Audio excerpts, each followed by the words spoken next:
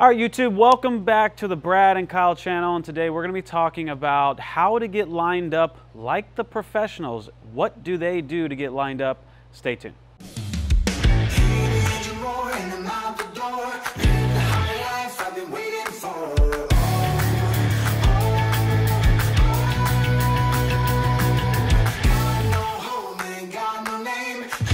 All right, so this one can be a little tricky, Kyle, because everybody is so different in Yeah. their strategies and the balls that they throw, how they see the lane, you know, just everybody is so different. So we're going to go through how Kyle likes to warm up technically, which isn't too far off from everyone else. It's a really good solid um, base on how you can see the lane. So Kyle, what would you say are like the first couple things you look forward to when you're trying to figure out the pattern? Yeah, so Brad put out a pattern here for me. I have no idea what it is. And what I'm gonna do is, I'm, first thing I like to do is I like to take a medium-ish ball for me and just figure out what the lane is doing for one. So for me, it's gonna be this Hustle PBR.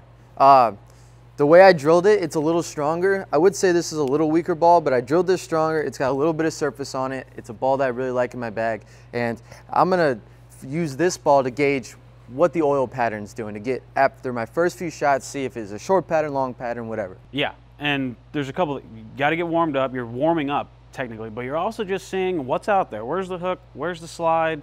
You know that whole thing. Exactly. So it's interesting, like your thought process is a little different when you don't know what the pattern is. So what I like to do is I like to, when I'm warming up, I like to throw a shot way to the right, stand over there, go up the lane, and just see what my ball does.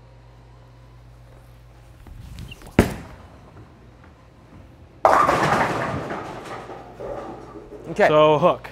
Yeah, so when I throw that shot, now I have an idea that, okay, the ball hooked really early, but it didn't knife off the end of the pattern like maybe a short pattern was. So now I'm thinking, okay, this is a medium, long pattern, something along those lines. So that was our first shot. Now, after that, I'm just gonna move my feet a few more right. So this would be, you know, like my second shot in practice. I'm gonna go between, or sorry, left. Yeah, definitely not moving right. Somewhere between second and third arrow and see what my ball is.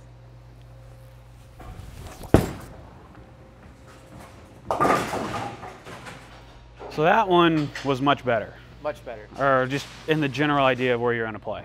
Yeah, that was uh, that was closer to hitting the pocket. That was like 11 at the arrows, getting out to five. So, and the balls, like I said, it's not knifing off the end of the pattern. So now I know it's definitely not a short pattern because if the short pattern was out here 33 feet or something like that, that ball would have went way left. And if you see that, if you see it just knife off, then you go to your urethanes and just your weaker balls that you can somehow control more. Yeah, absolutely. So now I kind of have, I'm, after just those two shots, I'm starting to paint that picture in my head. I'm starting to understand, okay, where can I throw it? Like you said, where's the hook? Where's the push? Now I see there's a little bit of hook right and there's some push in the middle. So what I'm gonna do is I'm gonna move a little more left around 15, slow my ball speed down, and I just wanna get an idea of what happens when I throw it there.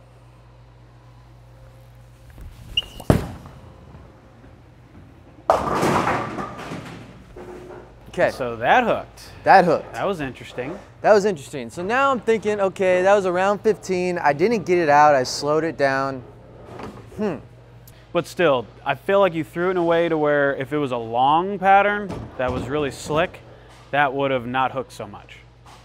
Yeah. So now we're, we're still in that medium range. So yeah, now I'm thinking this is a medium pattern. You're right. If it was a longer pattern, it would have went way further down the lane. So now I'm thinking, all right, well, and this is where when you talked about it, everyone's a little different. I know for me personally, I try to, and I don't know if this is the right way, but I know my strengths as a bowler. So now when I'm lining up, I want to see, okay, what's the oil pattern? Then how can I play this oil pattern in my strengths? Well, I like to play left. I like to kind of, I don't like to throw it way too hard, and I like to create angles. So now I'm thinking, all right, maybe I can do that on this pattern. So I'm going to move a little bit further left, kind of keep the same idea on my ball speed, open up my angle of touch, and then just see if I would hit the pocket.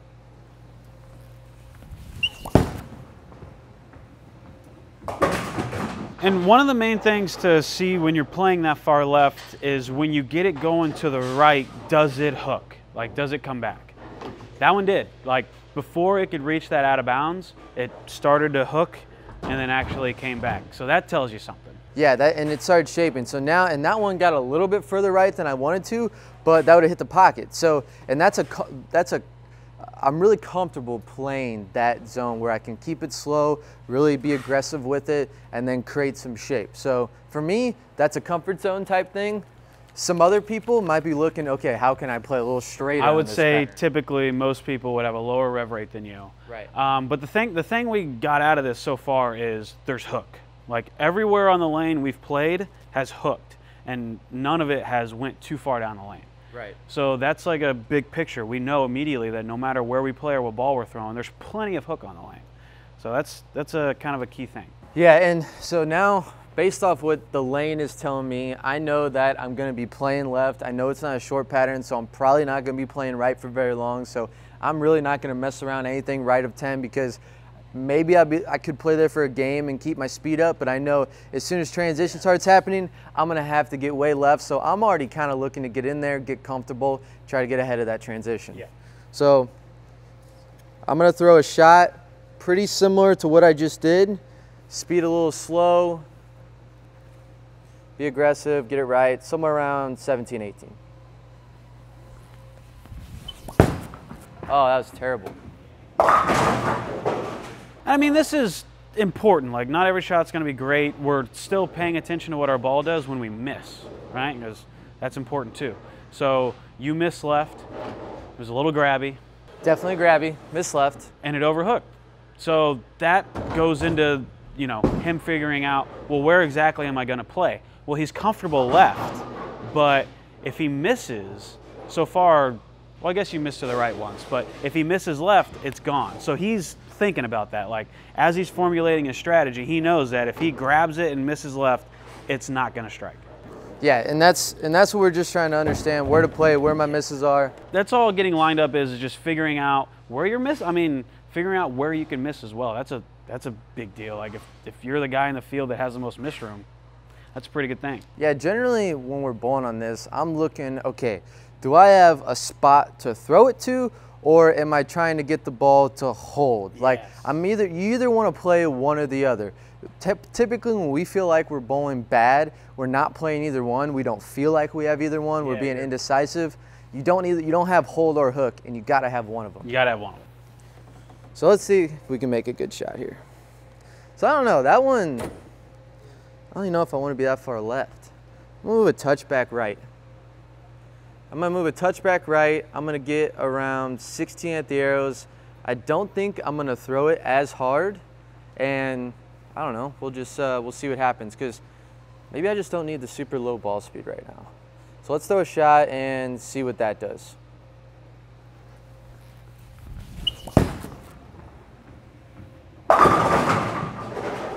So was that more ball speed? That was a little more ball speed. That was around 16 at the arrows. And my thought was maybe I can move right, keep my speed up, and it'll hold to the pocket and be good. Now, for me, I did exactly pretty much what I wanted to do on that shot, and I four pin. So I know I think I have to move left now. Or, like, the ball he is throwing, this cover stock is one of the strongest cover stocks that Storm makes.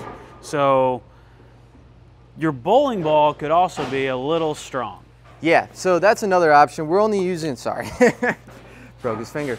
We're only using one ball just for this demonstration, but yeah, now I'm thinking, eh, maybe something like a Zen that's like a pearl, but not super clean, a little rollier. Like this might not be the correct ball, but just for demonstration, one more shot. That one was like 16 at the arrows. I'm gonna try to get 18 at the arrows, see what happens.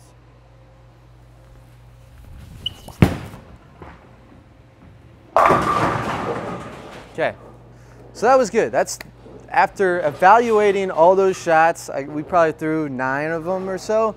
That's pretty close to where I'm gonna play. I might even go a couple more left off of that. Yep. And now granted, he's a, a high rev guy, loves to play left. I would say majority of you would feel more comfortable playing farther right. But the, the thing we got out of this the most is they're hooking, right? Like that's, that's the big deal. Does the pattern hook or does it not hook? That kind of tells you what balls you need to throw, where you need to play, and there's plenty of hook on this specific pattern.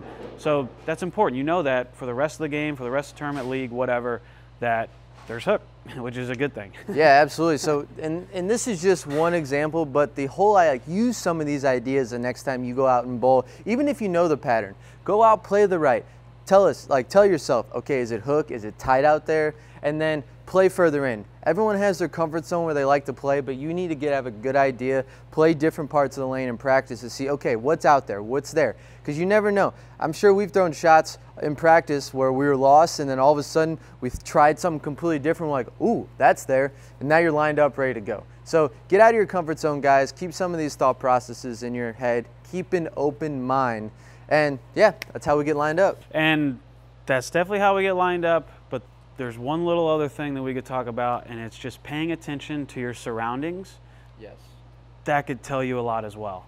Um, from your opponents, your league mates, whatever, you can learn a lot from their bowling ball go down the lane and you just watching their bowling ball go down the lane.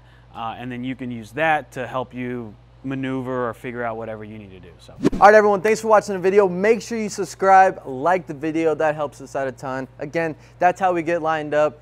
Pretty simple. Have an open mind. Pay attention to your surroundings. Do that, and you'll have a good idea where to play. Yep. Have a good one.